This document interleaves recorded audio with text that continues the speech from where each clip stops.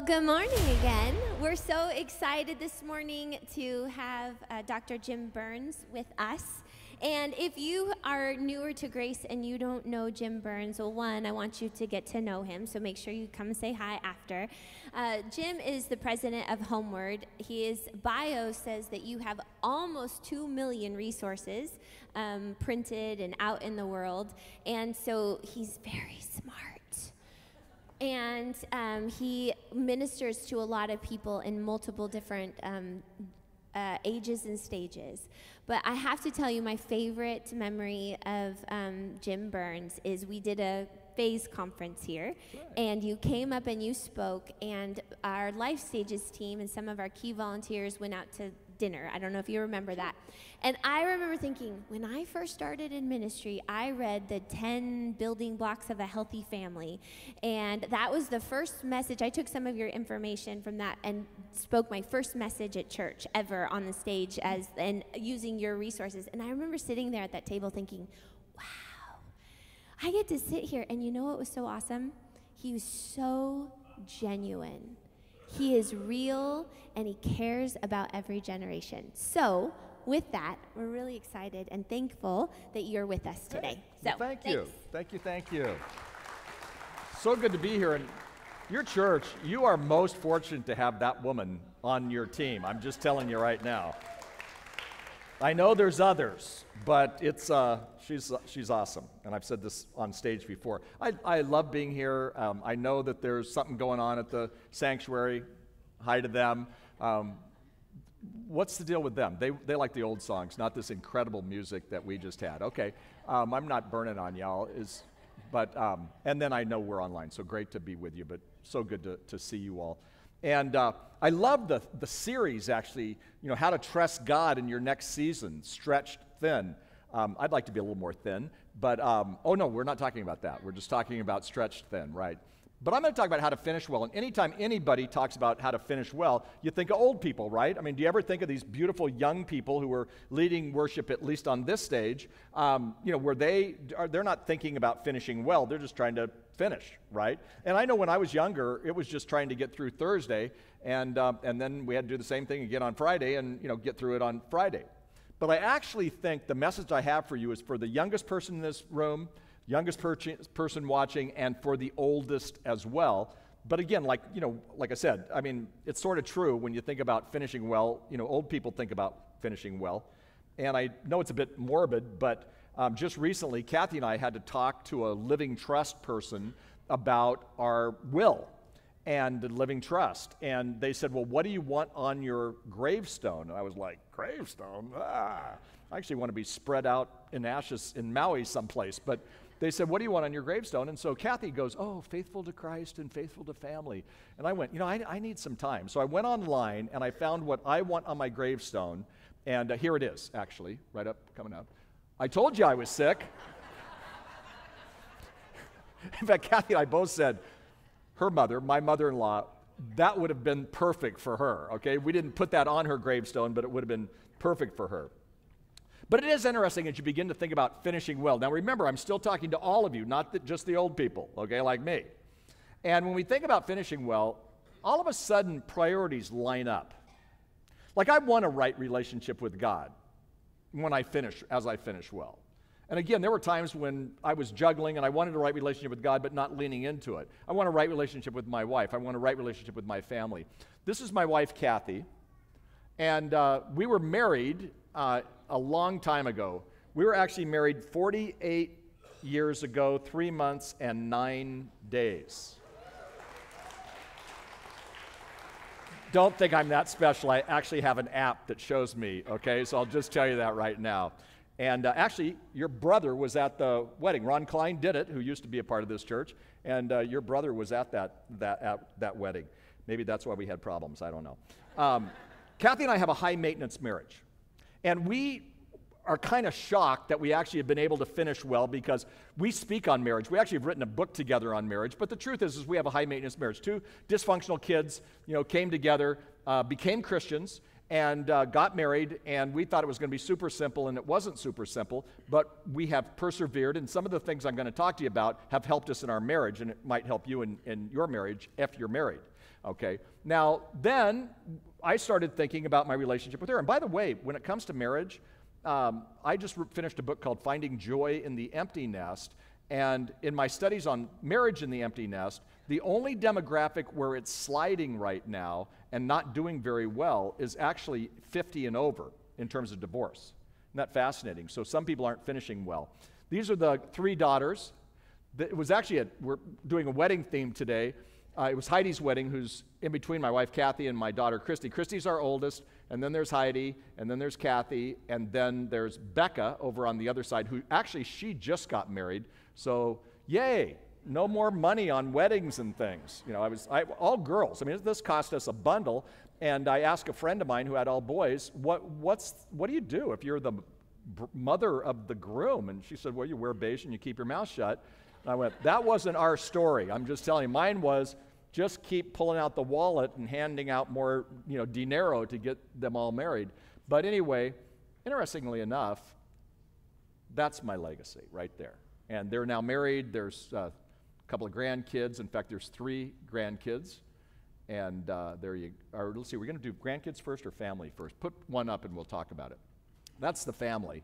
So that's, uh, and, and within the family, you've got three, everything's in three three daughters, three son in laws, and three grandkids, probably with some more to come.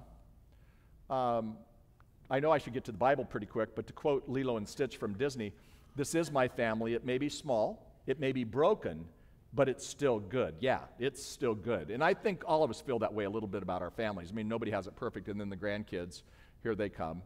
Um, James is so proud because he is the oldest and he just got his hair cut for first grade. Um, not short, but he just got it cut, and so he was so proud to show me. Um, he's my namesake. And man, I'm serious about my relationship with that kid. In fact, I call grandkids, next one is Charlotte, and then Huxley. I was speaking in Guatemala not last week, but the week before, and they introduced me about nine times, and they never got the word Huxley right because you could tell they had never heard the word Huxley. In fact, many of you have not heard the word Huxley. So they called him Harry, and they called him Harley, and all kinds of things. But anyway, that's the kids. And I call it a love affair between generations, and I'm putting a lot of energy into them right now. So excited to see them. I've been away all week, came in last night. Uh, from Oregon, and um, so we get to hang out today, and that's going to be that's going to be really fun. But that's where part of my legacy is. That's where how I want to finish well. I don't care as much about some of the things that I used to care deeply about. Um, I mean, I do write, and I do. There's some things that I do, but I don't know that it's as important. I was speaking with Jack Hayford. Some of you would know the name Jack Hayford. And I was speaking with him at the Promise Keepers Pastors Conference. I was going to come on stage. The big Maranatha praise band was singing, and I was about ready to step on stage at Diamondback Stadium in Arizona some time ago. And I said, Pastor Jack, what's the secret to your leadership success? This is one of the great uh, leaders in the Christian world for the previous generation. And he said, You know, Jim, he didn't pause. He said, You know, Jim, it's not what I've chosen to do, it's what I've chosen not to do. Went, unpack that one for me. He said, I had to say no to good things to say yes to the most important things. Those are some of my most important things. And no doubt your family is, is critical and key in that. But I'm not going to talk as much about family. Usually I, I'm brought here and I speak on family, but I'm going to talk about you. I want to meddle in your life today just a bit. And I, I, actually want to ask a number of questions, and one of them is, what are you doing to finish well? I'm looking at the youngest person in the room, and I'm thinking, it's maybe never even been asked before in his life. I'm looking at some of you oldies, and maybe you think you've already, you know, gotten past it. But what are you doing to finish well in your life? And that's what we're going to focus on today.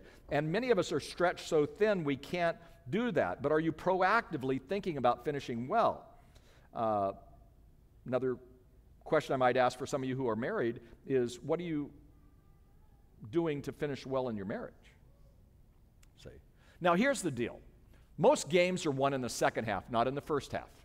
Okay? And so in the second half, we tend to do a little better because we have some of our priorities done, but some of us don't. Now, in the first half, and maybe half of you are here, you're in the first half. And how I would describe the first half is well, it's busy, it's noisy, it's almost frenetic. This is a new word for some of you frenetic.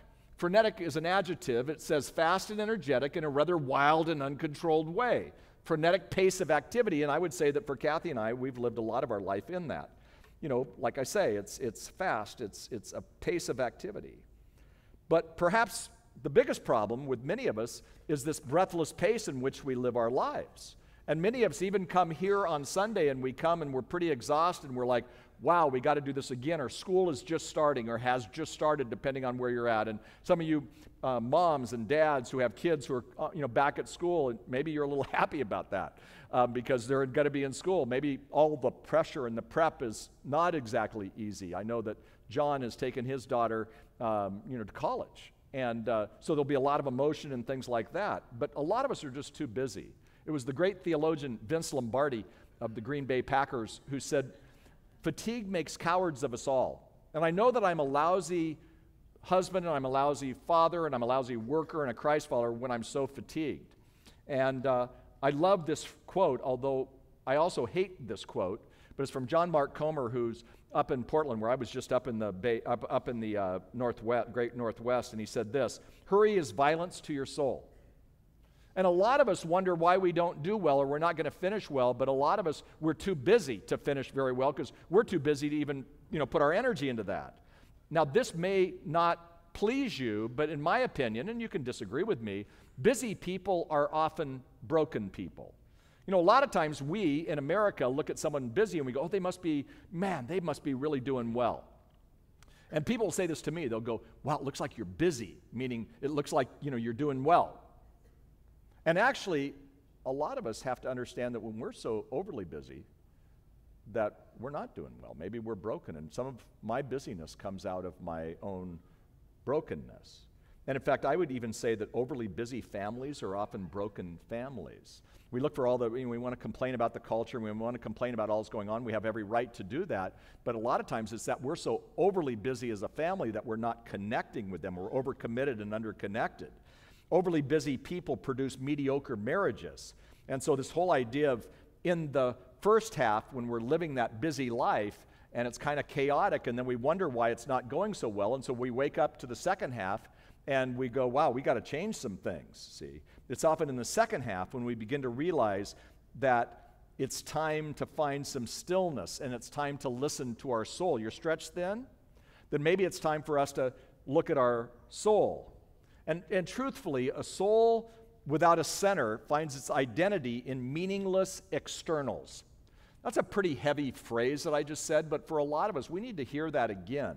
That a soul without a center finds its uh, meaning, or its identity, excuse me, in meaningless externals. So I want to speak for a moment about your soul, okay? And I'm no expert on soul work, but I simply know this that as we look at our soul, it totally relates, and the condition of our soul totally relates to our life and our family and our marriages and how we finish well. And this may be an oversimplification, but you know, the scripture does teach us that the soul is integrated with every aspect of our life. And yet, most likely, if you're like me, very seldom do we ever think about our soul, but the Bible speaks a lot about our soul. And basically, the soul has the capacity to bring your life and your relationships toward a healthy place. You want to be in a healthy place? If you want to be in a healthy place, then maybe we have to look at our soul. You see, we have an outer world and we have an inner world. And most of us pay all of our attention on the outer world, but we don't pay as much attention on the inner world. Your soul is the center of it all because it integrates into all of our life. A healthy soul brings goodness to your life. A healthy soul actually brings healthy relationships and an intimate marriage if you're married. But an unhealthy soul brings clutter and chaos and brokenness and pain. And for that, I might be describing your life, see. And so, if that is your life, then it's important for us to keep listening and kind of think about this. I love what Dallas Willard said. He said, The most important thing about you is not the things that you achieve, but the person that you become. I know some pretty successful people. And I actually get the privilege to spend time with a lot of successful people. But to be honest, the success that we look about in the world doesn't mean that they're successful in the important things a right relationship with God, a right relationship with their spouse if they're married, a right relationship with their kids. In fact, I know people who have sacrificed so they've been so successful in work, business, ministry, and yet they are unsuccessful when it comes to their family life because their soul is a little bit cluttered. So, in this book I told you that I wrote called Finding Joy in the Empty Nest, what's interesting is I have one phrase and it's worth the book. You don't need to buy the book, just write this phrase down, okay? And the phrase comes up and it says this Significance and a well lived life are not accidental. And I think we really miss that. That if you want a significant life and you want a well lived life, then it's not accidental. I actually am doing a, a memorial service to, um, tomorrow of a very special person in my life. It's going to be hard to do, to be honest, okay? And I know that you've had some tragedy here, even at the church recently, and that's really, really tough. I totally get that.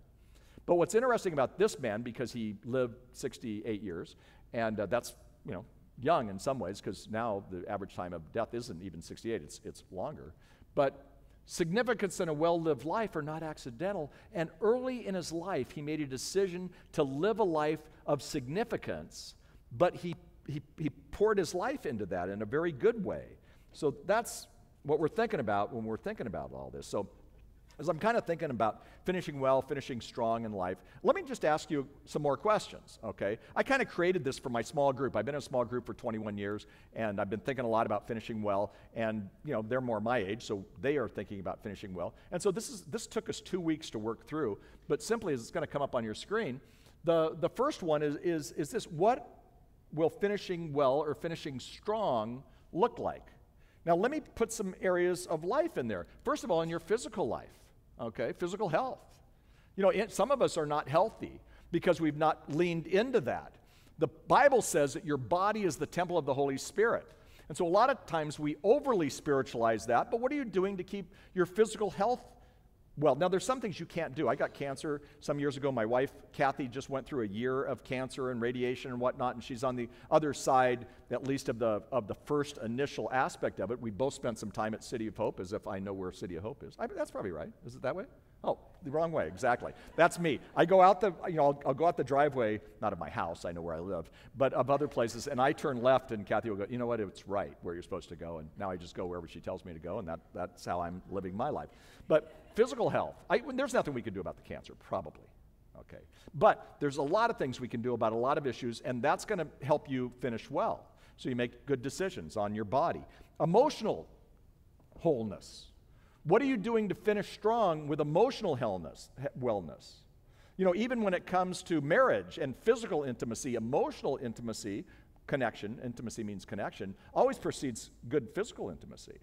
But sometimes we wonder why we don't have a good marriage, and it's because we're not emotionally connected because nobody's been paying any attention to their own emotional well being. Relational connection.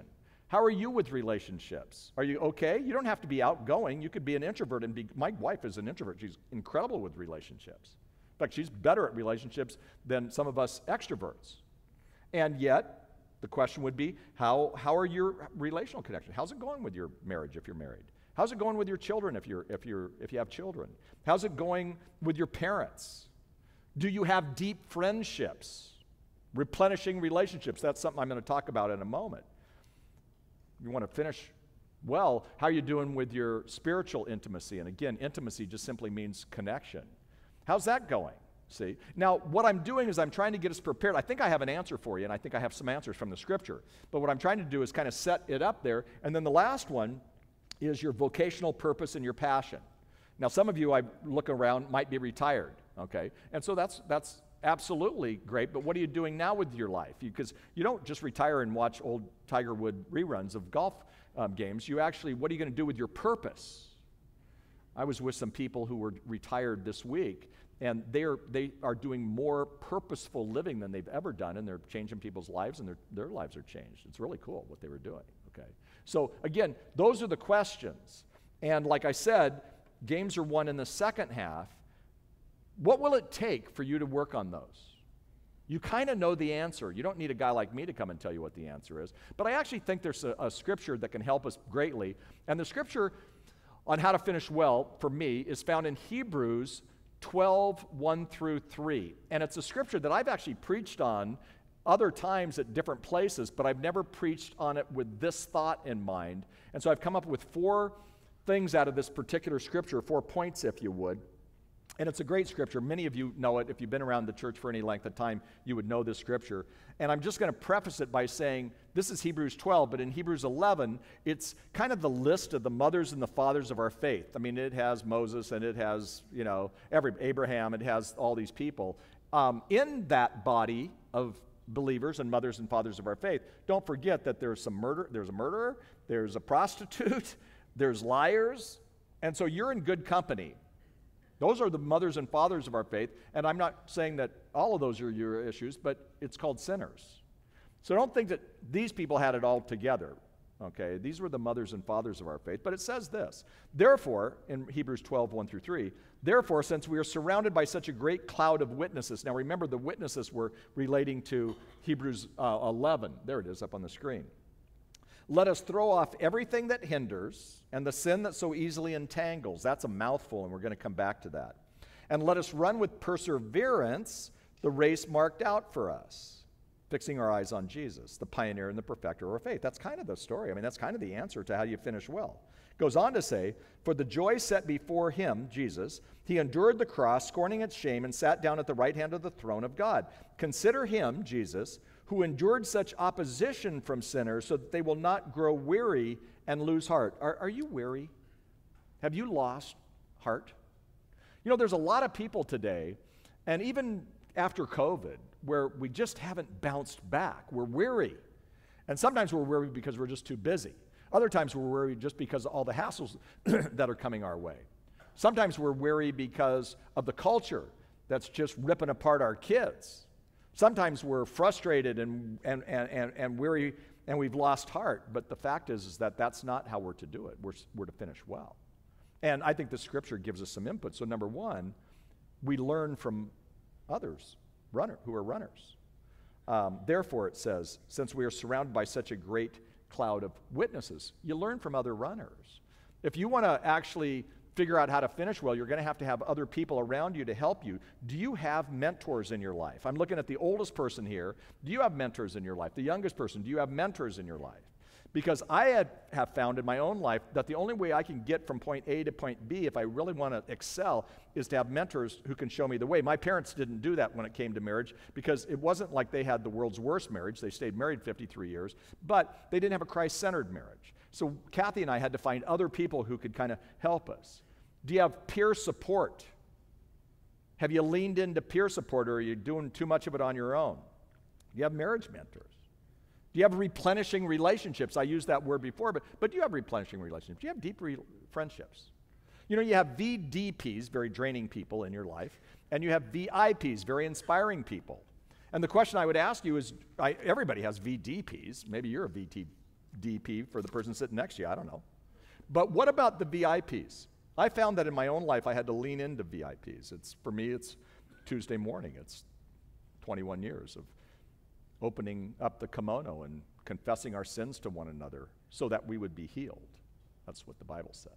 It's sharing and accountability and it's laughing. We went fishing this year in Montana this summer and we had a blast. Okay, I'm not saying it's all like super intense. I'm just saying I have, I have friends who replenish me and I'm a better husband and a better father because I drive 30 minutes to that meeting Tuesday morning, which I will at 7 o'clock, and I'll drive back. I don't live right in the same neighborhood, but that's an important place for me. In many ways, you know, John Dix has, is that. I, I don't meet with him on a regular basis. I see him every once in a while. Um, last time he came down my way, we had barbecue. And you know what? He's a replenishing relationship for me. Um, he's a cheerleader, he's an encourager. I mean, he's a pastor, he's a shepherd. And so, again, you can have every Tuesday morning people, or you can have people who kind of around your life. Uh, that's just how it is. Who are the VIPs in your life? I used to be a youth pastor, and what I always used to say to kids, students, was, you know, become, you become like the people you hang around with. Are you hanging around with the right people? See. Because if you're not, then you're probably not following that particular illustration of learning from other runners. For me, mentors are big. And, you know, the first time I met C.S. Lewis, he was dead. It was actually in a book, okay? and uh, I read his book, Mere Christianity, and it blew my mind. And so then I went, oh, wow, he has these other books called Chronicles of Narnia. I'll read the Chronicles of Narnia. And then I found other books. And what was interesting was I never met C.S. Lewis, but I did my PhD right near where he was a professor, and his, his presence, even after he died, was there. And I'm telling you, I learned a lot from him, and I would call him a mentor, even though, of course, I never met him. And so I'm suggesting to you that if you actually want to learn from other runners, if you let's take family, you read a parenting book a year, you read a marriage book a year. There's great stuff out there. And, and so when you lean into that kind of material, guess what? It affects you and it helps you and it actually gets you on the same page, especially if you're married, it gets you and your spouse on the same page if you read it together. So, secondly, for, to, to finish well, is to run light. Now, for, if you're stretched thin, this is hard to do. So, you're going to have to you know, not be so stretched in some ways. But the Bible says this let us throw off everything that hinders and the sin that so easily entangles. What's hindering your life? Is it busyness? When I talked about busyness, are you going, oh my gosh, I'm so busy? I'm not saying we're all going to move to Wyoming and live in a commune. I'm saying we have to figure it out here and now. And it actually takes a lot of discipline. In fact, Paul said to Timothy Discipline yourself for the purpose of godliness. And in that discipline, he was using a term that was kind of an athletic term. What I've learned is that I've had to learn to discipline myself for the purpose of godliness by saying a word. And I was just, not this week, last week, but the week before, I was in Guatemala. So I've got it down in English and Spanish. You want, you want to hear the word? Want me to teach you the word? Okay. Do you want it in Spanish or do you want it in English? I can do both. Both? Okay. Well, let's start with Spanish. Okay. No. No. Here's English. No, I just can't do that. So I'm a people pleaser. I'm the president of the People Pleasers Anonymous Club. And you know what? As a people pleaser, it's really hard for me to say, no, I can't do that for you. But what I found is that if I don't have margin in my life, I'm of no benefit to finishing well. In fact, many of the people who don't finish well are people who don't say no, I can't do that. Kathy always used to say, she hasn't said it for a while, so maybe I'm getting better, I don't know. She says, she always used to say, We have a Messiah. He's doing very well, Jim. You do not need to replace him.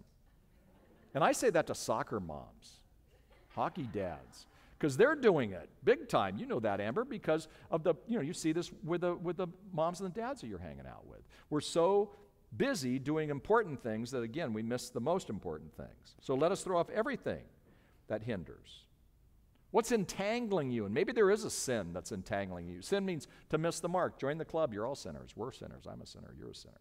See? And I love what Peter Drucker, the management guru, says. First things first, last things not at all. And I've had to be able to, if I was going to do this, my new word is declutter.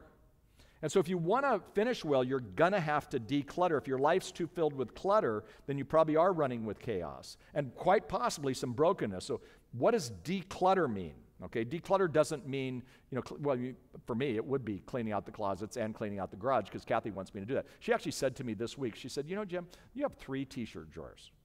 Do you really need three drawers of t shirts? And I go, Well, yes, I do. She goes, Some of your t shirts have holes under their arms. I said, I know, but I sweat in those. Those are just my sweat t shirts. And she goes, Well, but they're ugly. And I said, No, they all have meaning. So she goes, I want a two drawer t shirt. By the end of the summer, I want two drawers, not three. I'm panicked because I honestly don't know what to do because each t shirt that I have sweat in is a very important, has a, has a message for me, right? And so she's, then she said, I mean, this is my wife of 48 years. She goes, it's going to be a two t-shirt drawer because sometime when you're gone i'm just going to start throwing these things if you don't do it so i'm, I'm like in trouble i need marriage counseling see but what, what will you do have you figured it out do you the run lighter principle or are you still having to work through this? Okay it's hard. There's a great deal of tension especially for those of you who are young parents. I'm not saying it's easy. But what can we do to you know kind of again kind of declutter? Kathy and I had this when we first got married. Um, again, broken families, and we came together, and uh, I we had, we had uh, we actually went to Azusa Pacific right down the street, and we got married one week after, and we we were at a, a church called Yorba Linda Friends, where I was the youth pastor, and then I went away to grad school at Princeton, New Jersey, and we came back and we were at a church in Orange, And the church had four kids in the first Sunday school. I just remember this so well, and I was like, I can handle four kids. Well, in about three months, it had 100, and then it had 300, and then 400, and then it became one of the larger youth groups in America. They actually doubled my salary in one year. That's a greater miracle than Jesus walking on water. there's any staff here, you know what, exactly what I'm saying. And it was still a lousy salary, believe me. But one day after this, we're at the Salt and Pepper restaurant in Orange, and I shouldn't say that because we're close enough. Somebody probably owns it. Mark, if he's still here, he probably owns the Salt and Pepper restaurant, uh, along with you know all those other cool places that. But um, we were at the Salt and Pepper restaurant. It's kind of a well, a divey diner type, but we like that. And Kathy's lips started to quiver. And I had been married long enough to realize that when her lip quivered, I was in trouble. I didn't know why, but I just knew that her lip would start quivering and I'm in trouble. What's weird is all three of my daughters have quivering lips. I think it's hereditary. We even had a golden retriever who had like a quivering lip. I'm like, what is this? So her lip starts to quiver and she said, Jim, I don't think we should have children. No, children. On our first date, we talked about children. Kathy, you're a teacher and you're a kid magnet, and even in the youth group, the kids like you better than they like me. What do you, what do you mean? You don't want kids? And she goes, No, I want kids. I just don't know that you would be a very good father. Ah, because you're never here. You're always busy. You work six or seven nights a week. I mean, what is this? Are we, is this how we're going to live? I know this church has been successful, and I feel like I'm in competition with God. You're not God, but God is doing a great blessing. We have all these kids, but what about our kids? Wow. So I had to admit something to her. I said, Kathy, I'm having an affair. Okay, now the affair wasn't with a woman, not with a man either. Okay, my affair, my mistress was my job because my low self esteem needs were being met by my job. People at the church liked me, the kids liked me, the parents liked me, the pastors liked me because the church was growing like crazy, mainly because of an amazing youth group that was happening that had little to do with me. See. And then here's my wife saying, I don't even know if we should have kids. And so that night at the Salt and Pepper restaurant, on a piece of paper, we wrote down three things that would help us think through running a little lighter. Number one is we decided to have a non negotiable date night. I'm not turning this into a marriage series. I'm just simply saying that for us, we weren't dating. And so, because we weren't dating, we weren't connecting. So, we made a decision way back then to do that, and we hardly ever miss. I mean, I was in front of, I, I spoke, I've, this is my 11th message this week because I was at a conference where I was speaking, and all new messages. I mean, I was just doing messages galore. But on Wednesday, we ditched all the people that we were at this conference and we went and had our date. And I felt kind of guilty about it because the speakers are supposed to kind of mingle with all the people, but guess what? Nobody under nobody knows. And nobody went, "Oh, I can't believe you weren't there." And we had a good time. See. So a non-negotiable date night. Secondly, we decided to only be out about 3 nights. And what was fascinating about that is because we were out too many nights. The average person in ministry is out five nights a week. And unless they're working a swing shift, which most ministry people don't, that's too much. At least it was too much for us. So I went to my pastor and I said, Look, I'm going to keep doing the same stuff. I'm going to move some things around. I'm only going to be out three nights a week because I really need to put some energy and effort into my marriage. The pastor said, That's a great idea. The first week, the pastor asked me to come to a meeting that would have been four nights. And I said, I can't do it. And I thought maybe I'd get fired. And, uh, but you know what? He didn't fire me. And then I found out later that at that meeting, I got all the information I needed in one minute. And you know what? I can't say that every night Kathy and I are having these amazing moments. It was just that we needed some decluttering and run lighter. See, and then the last one was that Kathy had veto power over my schedule. In fact, even this speaking request, John does what John does so well. He texts me. So I get, you know, we have a whole speaking committee. We fill out pages and all these kind of things. John, he texts me and he goes, 28th of the 20, 21st of the 28th. And so I sent it over to Kathy. And she goes, and, and it was after, literally, I, I flew in late last night, and I'm here. And um, Kathy goes, Oh, you love John, you love Grace Church. Yeah, yeah, great, that's fine. I thought, Does she want me out of her life, or what's the, what's the story? And we've been together. So the point being is that, you know, she, she, it's not like I turned her into the big ogre, but she understood things. In our, she understood the pace of life, see. And I think that's, that's key and critical. So again, I use that illustration to say we had to learn to declutter. Thirdly, is run with endurance. It's a very interesting scripture. And let us run with perseverance the race marked out for us. It's fascinating that actually a lot of times the writer of the Hebrews, and people really don't know who wrote Hebrews, it could have been Paul, but maybe not. But Paul used a lot of illustrations about running. And what I'm saying is in our life, we are not running a sprint, we are running a marathon. And so to run a marathon, you have to learn to pace yourself. And that's what I've been trying to learn if I'm going to learn how to finish well, because we're stretched so thin already, we have to learn how to, how to pace ourselves. And, the, and it says, let us run with perseverance the race marked out for us. So I'm literally saying, you know, run with endurance, similar, similar phrase. So it's interesting that Amber used the word grit because it's kind of a new, cool, popular word. And she's cool and new, well, she's cool and groovy. You can tell that I'm old because I just used the word groovy. Um, I've tried to bring that word back and I can't do it. Kids are like, that's a really dumb word. I'm, I'm trying to, except I teach my grandkids groovy. Grandpa's groovy. And except Charlotte goes, Grandpa's goofy. No, no, no, not goofy, groovy. She can't get that right, right? So again, grit. What is grit? Grit is passion and perseverance coming together. And that's grit. That's endurance. And we all need grit to finish well. If you look at grit, there's going to come on to the screen, but there maybe there's not going to. Yeah, there it is. Okay, so grit, it's a noun, and I took this right from the dictionary. Courage and resolve, strength of character. He displayed the true grit of a Navy pilot, okay? So, a woman named Angela Duckworth made this word popular because it's the most, one of the most popular TED Talks. Bazillions of people have watched her TED Talk, and she wrote a book on it. You know what she said? I studied successful people in education and, and successful people in business, and it wasn't intelligence, it was their grit that made them successful. Isn't that interesting? You want to finish well? You're going to take some grit. What are the synonyms? Courage, bravery, backbone, spirit, strength of will, moral, valor, fortitude, toughness, hardness, resolve, determined, resolute. That's what we're talking about. So, what grit means for me, and I'm going to lay it on you, is do whatever it takes to make your top priorities your top priorities. Because you know what your top priorities are. We don't always do it. I don't always do it. But if I'm going to finish well, and if I'm stretched in my life, it's really hard for me to do the top priorities because I'm just trying to get by, like I said. See, I have a, I have a research that we use with marriage. Again, I don't know why I'm talking so much about marriage, but um, troubled marriages. So this research just came out that people who have troubled marriages, if they persevere for five years, 78% of those people say that their marriage is better off. Isn't that amazing? What we tend to do in America is it's not going well, the grass is probably greener, and we jump too quickly. But what this research is showing, by the way, this is secular research, this is not Christian research.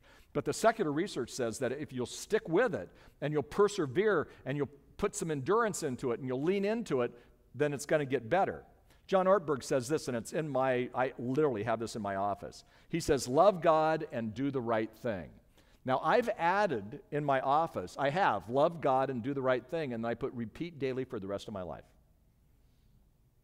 And so, what I'm going to do for the rest of my life, I'm going to try to love God and do the right thing. And then I'm going to repeat it tomorrow. Because you know what? It's only good for the day and sometimes for the hour. Okay? So, what I'm saying to you is if you want to finish well, that's what you do. It's, it's, that's the answer. See what I'm saying? woman said to me one time, untended fires soon become nothing but a pile of ashes. And I know that to be true. I can stir up those ashes to kind of make them be a fire, but if I don't tend to them, it's not good. One of the ways we do that is to find our thin place. So we're stretched thin, but let me give you a new definition of thin. Thin, spiritually, is the distance between heaven and earth. This is actually an old teaching, actually, an old teaching from hundreds of years ago. But what they called it was the thin place where heaven and earth are close. You know where my thin place is? It's a chair in my living room. It's a chair that Kathy wants to get rid of, just like my t shirt drawer. And I just sit there. And it, it has a rip, not from me, but from the kids. It has pin marks, which drives her nuts because I, that's where I do my Bible every morning. I did it this morning. I mean, I'm, I was tired flying in and whatnot, but I got up and I did my one year Bible and I'm obsessed about it. And then I wrote in my journal I put adoration, so I put some scriptures of praise. I put confession, I confess my sins. I put thanksgiving. And I actually, you know, put some names here from the church and this church. I mean, but uh, other things, nothing sexy, Just simply putting some reasons why I'm thankful, and then I, I put supplications and a prayer request or five or ten. And, my, and I show, like I show my grandkids all the time, James, I go, James, what's that? He goes, that's my name. I go, I pray for you every day. Charlotte, what's that? Scribble. Actually, it's Charlotte, but you can't read yet. And I pray for you every day. Actually, I'd never show him that because he'd just like eat the page or whatever it, you know, going to almost be too. But that chair is my thin place. Is it someplace where I feel God's presence every day? No. But I do it. For me, it's a walk on the beach. I live in Dana Point, so I live by the beach. And so it's that walk on the beach. Sometimes I feel God's presence, sometimes I don't. But the truth is, do we have a thin place? Do you have a thin place? Some people might say it's Lake Arrowhead. I don't care where it is. It could be out in the it could be at a park. It could be climbing up one of the hills, Glendora Mountain Road, whatever it is. I'm just saying, do you have a thin place where heaven and earth are close? And do you find that often? What the question I have to ask is what in my life has gone unattended and uncultivated? That's a big question. What in my life, what in your life has gone unattended or uncultivated? Okay? Remember when I talked about physical health, emotional, relationships, all that stuff, spiritual intimacy? Well, if you took that list and then you asked that question, what is in my life that has gone unattended or uncultivated? You probably know the answer to how you finish well for you. And what's interesting is how you finish well is different than how I'm going to finish well. I mean, I wish it was all the same, but it's not. But I think these are great principles. And the last one is keep your eyes on the prize. I mean, we expect that, but it's actually right here in the Bible. Fixing our eyes on Jesus, the pioneer and the perfecter of our faith. We drift. Every single one of us drift. I don't care if, you're, again, you're the youngest person or the oldest person. We all drift. That's the natural tendency. So I like to body surf and surf and all that kind of stuff. And so when I was growing up, I would go down Highway 39, which is actually right up here, but it would, turns into Beach Boulevard, and I would go to the beach at Beach Boulevard in Huntington Beach. And the, sometimes the, the current would take us all the way to the pier, which is a long ways, and then we would hitchhike back. I would not suggest that kids do that today, but that's what we would do. But you could just get in the water and you just drift. Well, all of us drift. If we're not swimming, sometimes, honestly, even against the current. And so it's making course corrections all the time, but the way you make the course corrections is to do what that scripture says. Fix your eyes on Jesus, the pioneer and perfecter of faith. I had to keep my eyes on the lifeguard station at Beach Boulevard, or I was going to end up at the pier, which is a good long distance away, see? And if I'm now changing the illustration, but if I'm in a boat and I'm going to Hawaii and it drifts 1%, I'm going to end up in Australia. That's what we do sometimes. And all of a sudden we look up and we're lost, see? And so the way to do that is to keep our eyes on Jesus. So we have a ministry that mirrors our ministry in South Africa, and I was with the guy that runs it and his dad, who actually lives in Tanzania. And his dad um, is basically a guide and takes people up Kilimanjaro. Now, Kilimanjaro, the hike to Kilimanjaro is not like Everest. It's just a long hike and it's uphill, and you go for like six or seven days, right?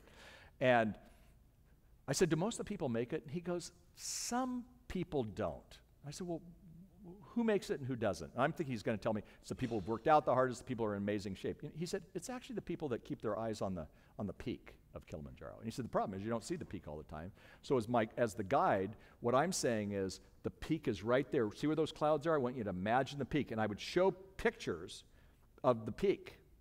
He said, They make it when they get their eyes off the peak, they start grumbling and they say they can't make it and they, they, they lose energy and they're all cold because they start really warm. You start at the base and it's really warm and then you get freezing. Oxygen issues, all kinds of things. But if you keep your eye on the peak, well, that's what this scripture is saying. Fix your eyes on Jesus.